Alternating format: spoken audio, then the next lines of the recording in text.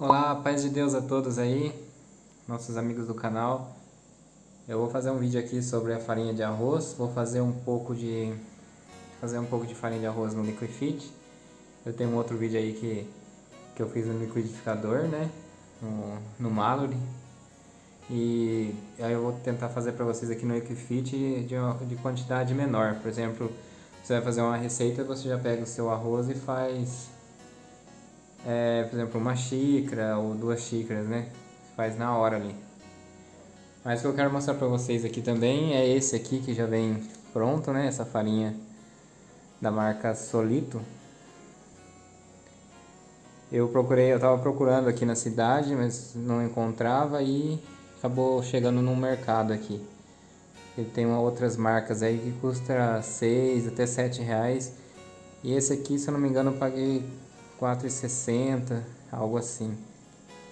Eu vou mostrar para vocês é, que aqui, como eu tentei no outro vídeo fazer no, no você tem que peneirar, bater muito bem e peneirando para chegar é, ficar bem fininho assim, é bem difícil, né? Mas eu, mesmo que não ficou tão fino igual é esse já usado na máquina industrial, né, na indústria, ele ficou nas receitas que eu usei ficou bom.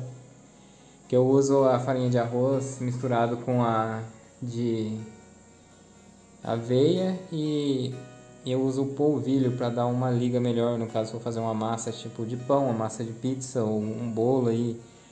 Praticamente fica, fica a mesma coisa de um bolo da farinha de trigo. Vou fazer uma mistura legal. Então, essa aqui é uma dica, né? Vou chegar mais próximo para vocês verem, quem quiser pausar o vídeo. Eu não fiz empanado com ele ainda, né? Vou tentar fazer na air fryer, mas eu vou tentar fazer. Então vamos lá, vou pegar aqui uma xícara de arroz.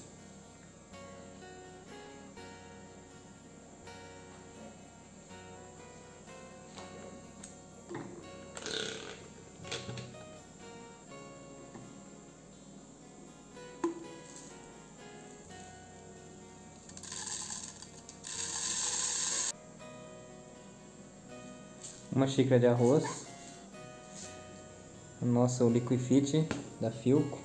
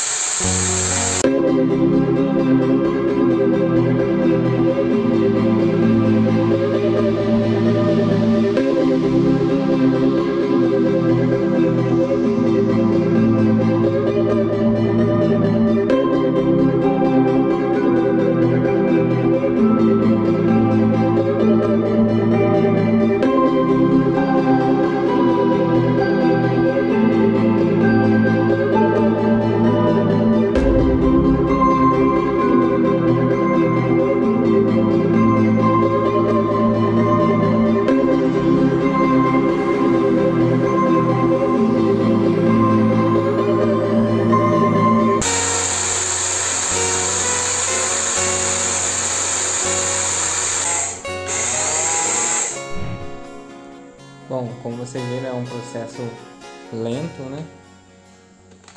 O Liquifit ele tem que ter um tempinho para para descansar, porque senão ele aquece.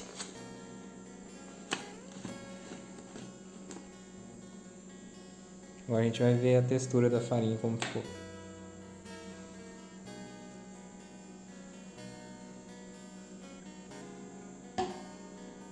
Tentar focar aqui mas bateu bem. Ficou bem legal. Passar uma peneira aí já dá pra, pra usar uma receita aí. Um bolo. Vou fazer um pãozinho sem glúten, né? Isso aí. Então, esse é o vídeo de hoje. Espero que vocês tenham gostado aí. O próximo vídeo eu vou tentar no moedorzinho de café elétrico, que ele também é bem potente. Aí a gente vai ver como que vai ficar. Mas essa é uma opção legal. Existem outros do, da categoria do Liquifit, né? Que é a shaker elétrica. Aí tem outras marcas aí que tem mais potência que talvez dê mais certo ainda. Existe aquele, acho que se eu não me engano é da Tramontina. Tem um aí bem legal também, bem, bem potente. A, a Electrolux. É isso aí, pessoal. Daí se inscreve no canal, curte aí que a gente vai tá fazendo outras experiências aí para a gente estar tá mudando nossa alimentação. Tchau, tchau, até o próximo vídeo.